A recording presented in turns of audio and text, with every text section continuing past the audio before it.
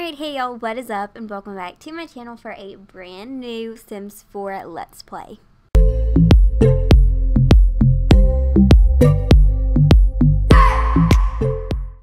Alright, so if you watched my speed build a couple of weeks ago, I built a single mom trailer and I'm explaining their backstory, mentioned that I was making it an LP because, you know, I've missed the Sims 4 gameplay. I kind of got a little bit bored with it, was uninspired, and I really wanted to not focus on a pack or expansion pack that we get, but just a story because my favorite thing to do in The Sims 4 and in The Sims in general is to storytell. So if you're new to my channel, my name is Carissa and I love The Sims uh, Sims 2, Sims 3, Sims 4, all of the Sims, and I like to storytell and just really let my creativity out in the Sims. So I hope you guys can see that and enjoy that. But anyways, I do not have a name for this LP yet, which is where you guys come in. Um, I mean, even if it's going to take us a few weeks to get a name, that's perfectly fine with me.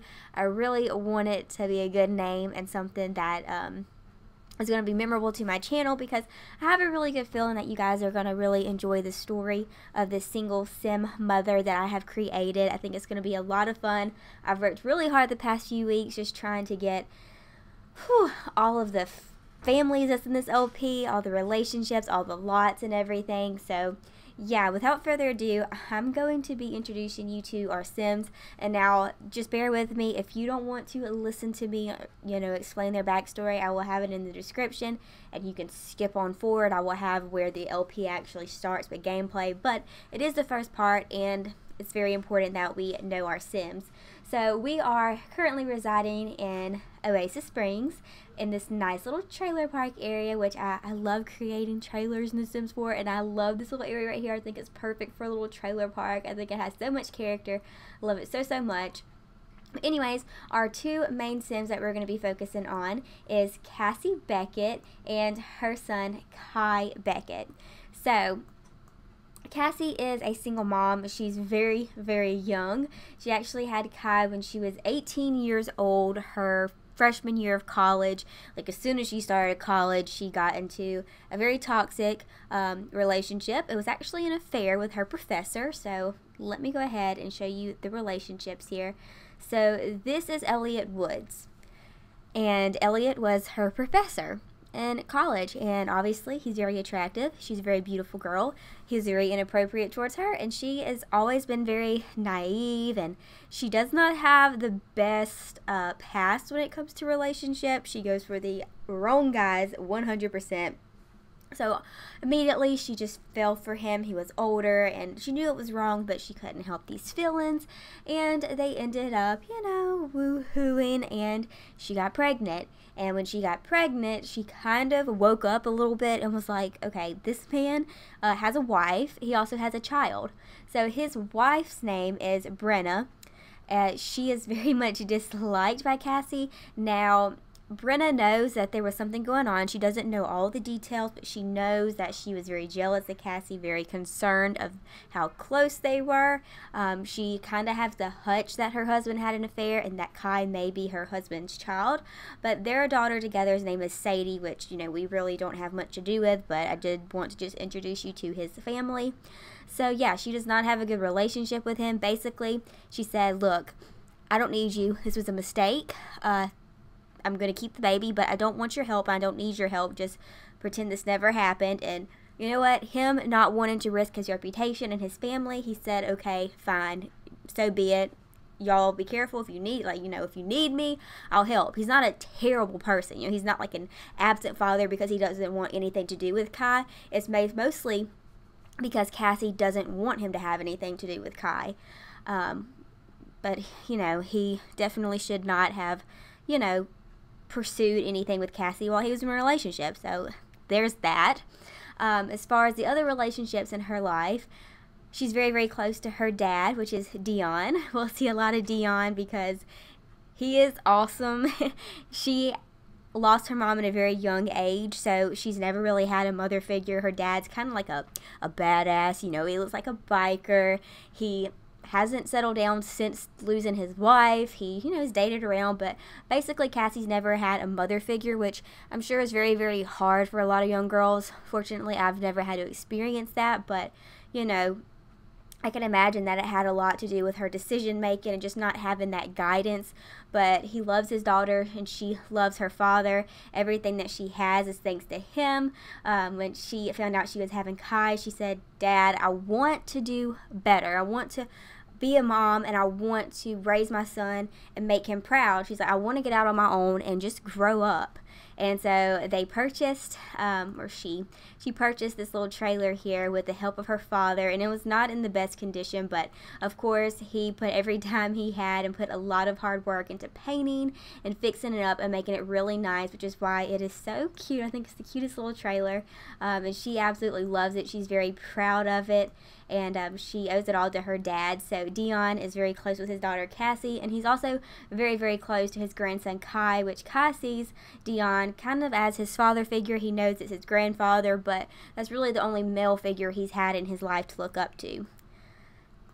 And Cassie's best friend's name is Danica Pope. She actually lives right here with her boyfriend. His name is Kian Mann. Um, her and uh, Danica have been friends since they were in high school. You know, they're OG friends, and uh, that's how she found out about this trailer. Danica was like, "Hey, it's for you know, it's for rent. Please come move in. It'll be awesome to have you next door. Of course, I can help watch Kai, whatever." And it's been really, really good having Danica next door. Um, she's pretty good friends with Kian as well, but Kian, as we're gonna see, he's not necessarily a good guy. He is a criminal. Um, I mean, him and Danica have a good relationship, but I mean, Kian's just a little bit sketchy to me. So, yeah, I definitely think Cassie gets those vibes from Kian that he's just a little bit sketchy, and she really needs to, you know, be protective of her best friend Danica. Also, she has a friend named Megan Thomas. Megan Thomas is a single mom as well who has a daughter named Millie Thomas, and they actually live in the trailer right next door. They met when they moved into this neighborhood because obviously they share a common interest, um, or not really interest, but they're both single moms, obviously. So Kai and Millie have little play dates all the time. They're friends. It's really, really cute, and I think that'll be a really fun relationship to see grow um, especially with Cassie having somebody that relates to her struggle as a single mother. And then this right here is Mr. Martin Perez. And Martin is a guy that she has met recently. They haven't known each other very long, but uh, they are lovebirds. They haven't had their first kiss or anything like that.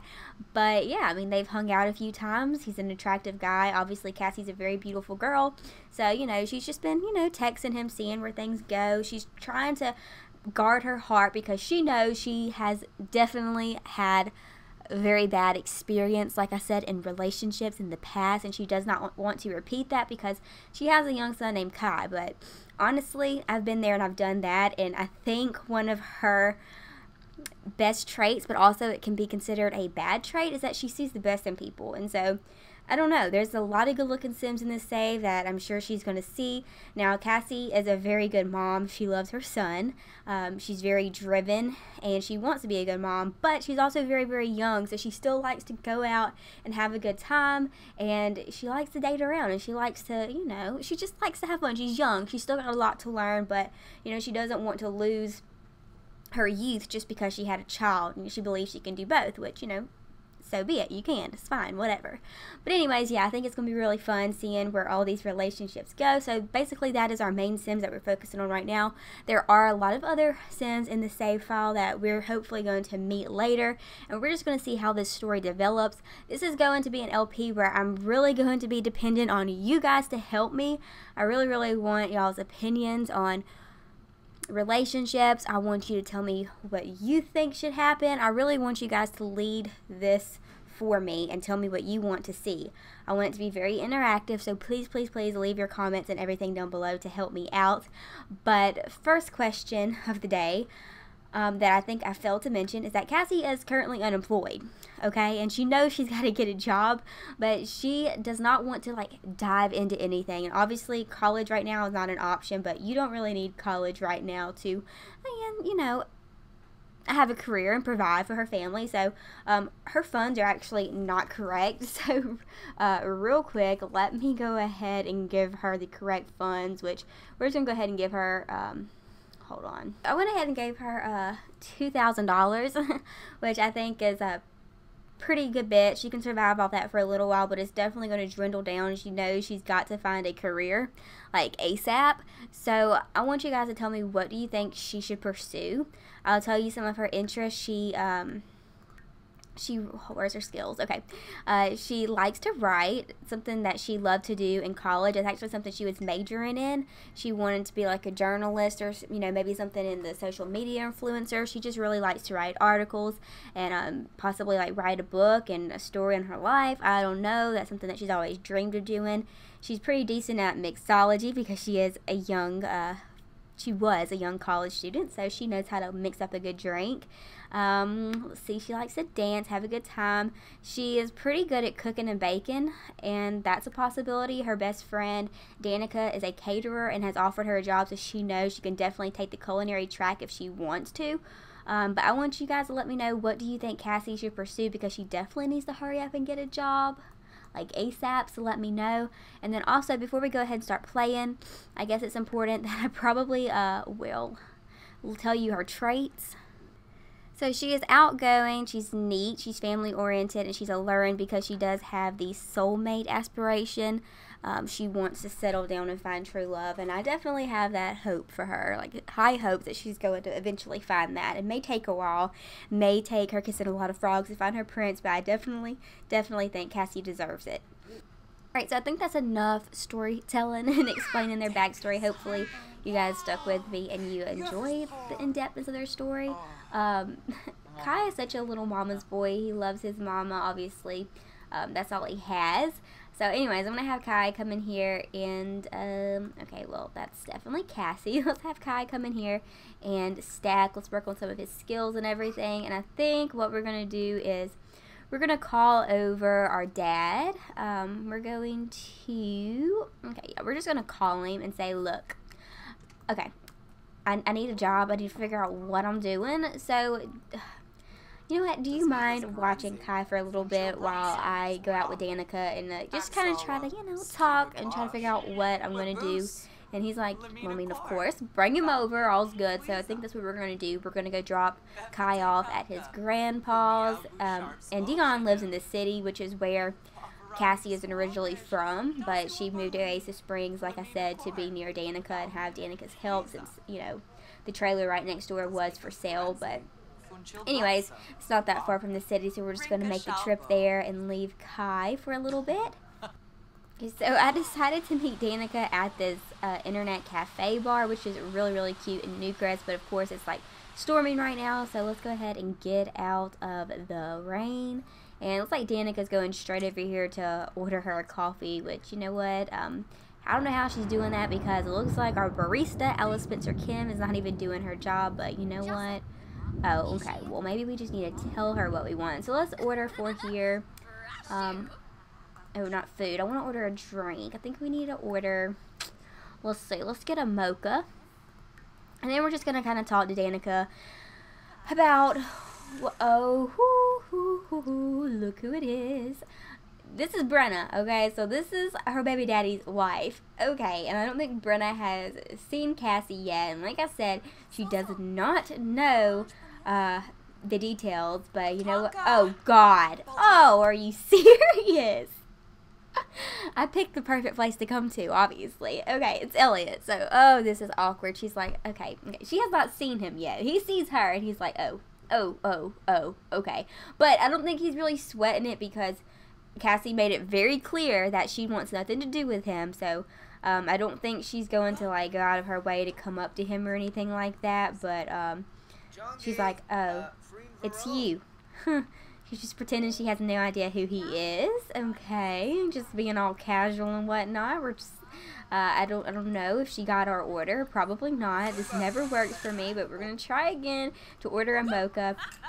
Uh, Danica does know who Elliot is. She knows all the details, so uh, Danica's just kind of glaring at him like, wow, this is super awkward. But you know what? We're not going to sweat it. We're not going to sweat it. Is she getting her mocha? I'm not really sure if she's got her order or not. This is just really awkward. And she's like, give me my damn drink so I can sit down and pretend that I don't know what's happening right now because I'm just a little confused. Like, why? why is this my luck? Okay. Yeah, okay. Order drink. Can we please have a mocha? That's all I'm asking for is a damn mocha, uh, okay? Uh, oh, uh, uh, sir, excuse me? Yeah, okay. Uh, Danica's like, bitch, you better, you better back off. Wrong table. You might want to go over there with your wife, you know? Yeah, okay. See you later. Alright, thanks to Danica, uh, I think he has skedaddled on because that would have been really awkward. She's like, can you believe he just came down, sat, sat down with us. Like, I think he wants to talk to you. And she's like, well, you know what? Not happening. Tough luck. It's not happening. And uh, so, you know, obviously Brenna has seen Cassie by now, and she's just like, oh, okay, well, mm, mm, whatever. Uh, and I think Elliot dipped. I think he was a little bit offended by uh, Danica. Uh, I'm not really sure what Danica said to him, but she definitely got rid of him. Um, I don't know. I guess Brenna didn't notice. But anyways, we have obviously all these celebrities that are hanging out here, which is kind of strange. But alright, so anyways, we're going to just kind of ask her about her career because like I said Danica is in the culinary career. I believe she is a caterer so she's like you know you like to bake you like to cook and I know that you have like these big dreams of being a writer and you know making it big, but you know, also it'd be really cool for us to, you know, maybe open up our own restaurant one day because that's Danica's dream. Oh, okay, paparazzi, seriously. Okay, you know, we're just trying to enjoy our coffee here. Um, okay, Brittany Chow, can you, like, just go away because this is Newcrest. You should probably stay in Del Sol Valley because I can't deal with the paparazzi. Anyways, I mean, they're trying to have a conversation, but Danica keeps wanting more coffee. She's all jacked up on espresso. Um, Dad, hi, you're supposed to be watching Kai. Oh, Don Lothario. It's just like, hello, pretty lady. Danica's like, look, I've heard a lot about him. Probably need to run, but you know what? Cassie's a sucker for good-looking, tall, dark, and handsome men. So you know what? We're just gonna give Don Lothario a friendly little introduction. You know, nothing wrong with that. Dad, can you please go do your job and watch your your grandson? Thank you. Bye you're just really ruining my, my storyline here. Wow, this is just great. Well, typical, right? So anyways, yeah, hi. Anyways, uh, Danica's like, okay, if anybody would just stop interrupting our conversation now, that'd be great. Alright, Don, it was nice talking to you, but anyways, I was trying to explain to you guys what Danica is really hoping that uh, Cassie will, you know, join the culinary career with her because Cassie loves to cook and has a dream of opening her own restaurant and just like really making it big one day. You know, obviously she doesn't have a lot of money. She's dating a criminal and she's just not really living her best life, I guess you would say. Um, and she has just high hopes that Cassie would definitely go in with her and help her, and that'd be something really cool, you know, a sister cafe or something like that. I don't know. And Cassie might, you know, she might for now, but she does. She has these big dreams of, you know, possibly doing something in journalism, possibly doing something in social media. I'm not really sure. Like I said, I want you guys to tell me what you think, but right now she's guts to potty, and I think we're probably going to go on home because this is not going well. Uh, we can't have like a decent conversation with Danica because uh, everybody's wanting to order coffee. We've ran into our baby daddy, his wife, and our dad, who is supposed to be at home watching Kai. but anyways, yeah, we're gonna go ahead and pick Kai up and go back home and spend a little bit of time with him. So Cassie is putting Kai in his little high chair, and we're gonna give him uh, a ham and cheese sandwich and probably go ahead and fix up something real quick. So let's just go ahead and, um, let's see, we're probably going to cook enough to get us by the next few days for dinner. So let's cook a family size serving of tacos. Um, I don't know, Cassie's just really contemplating a lot. She's had a lot to go on today um, from, you know, trying to figure out if she's going to go in with Danica and take that leap of faith and, you know, see what the culinary offers and, you know, or follow her dream of writing and being an, um, a journalist and whatnot. Um, she really doesn't think that she has that in her just because she feels like she you have to know somebody, you know, to get a good job and do what you want to do. You have to know somebody, and she knows absolutely nobody. So she knows she would start at the very very bottom. But if she started with Danica, she could skip two levels ahead and be a caterer. She could skip. You know, I mean, she'd make more money starting out as a caterer than she would in the journalism career. So I don't know. She's got a lot to think about. So let me know what you guys think. Uh, she's also is just a little flabbergasted, I guess you would say, that uh, um, she saw her, her baby daddy. You know, she saw Elliot and uh, Brennan. It was just really awkward, but you know, it's a good thing that Elliot is on the same page with her, and you know, it's just kind of like, okay, fine, you don't want nothing to do with me. I can make that really easy for you. So he pretended like he didn't even see her. Looks like Danica was like, hey, you ditched me. And she was like, well, I mean, it was just a little bit much. I had to go pick up Kai. Uh, and yeah, sorry. And she's like, okay, well, that's fine. Okay, so what do you think? Are you going to go in with me? What's, what's the plans, right? um, so she's like, look, I don't know. She's like, look, I promise. It's going to be good. This is going to be good for you. If you don't like it, I won't be offended if you back out. I promise. I won't. But I'm just letting you know that the job is yours if you want it, but you need to let me know as soon as possible. So she's just thanking her for, you know, always thinking of her and helping her and everything. Alright, so it's 5.43 and looks like our little buddy is a little bit tired, but I'm going to cheat that a little bit because I don't want him to really nap or anything. I want him to go to bed at a decent hour. I know I really shouldn't cheat, but, you know, I'm just a cheater. So let's let him out real quick so he can go play with his toys and um, I think Danica is just asking her, you know, about Martin, which is, like I said, the guy that she has been talking to. And she's like, yeah, I mean, I haven't hung out with him lately, but, um, you know, maybe I should send him a text. So she is sending Martin a text, and I mean, we might hang out with him in the next part, um, just because, you know, she is a hopeless romantic. She wants to find the one, and he's very good looking. Not really sure what's going on with him. Don't know if he's really a good guy. Don't know much about him. But you guys are going to have to let me know what you think once we meet him. Um, if you have any Sims that you want me to include in this LP, let me know. Um, and I will go find them and we'll put them in, whether it's a single Sim or some single moms, some friends for Cassie, some future possible future possible friends, uh, lovers for Mr. Kai. Um, but yeah, so I think this has been a lot for the first part. Hopefully you guys enjoyed it. I'm really excited to storytell with this family. I think it's going to be so much fun. I can sense a lot of drama, a lot of emotions, and a lot of love coming for this LP. Um, so yeah, let me know what you guys think. Give it a big thumbs up if you like it. Subscribe if you have not. And with that being said, I will talk to y'all later. Bye!